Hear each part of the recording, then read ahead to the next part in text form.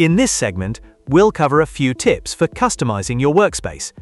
First, in the Project menu, you'll find the Hotkeys tab, which is a useful reference for all available keyboard shortcuts.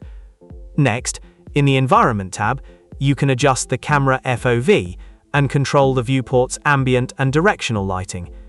You also have the option to enable a green screen for the background. Finally, let's look at the File menu.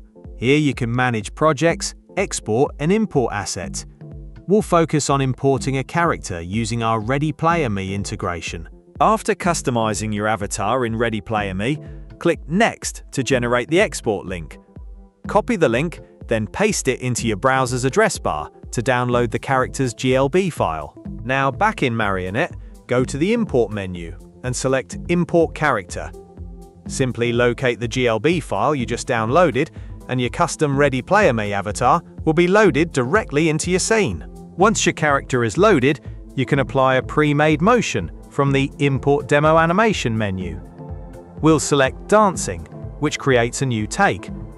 Drag it onto the timeline, and your custom character is instantly animated.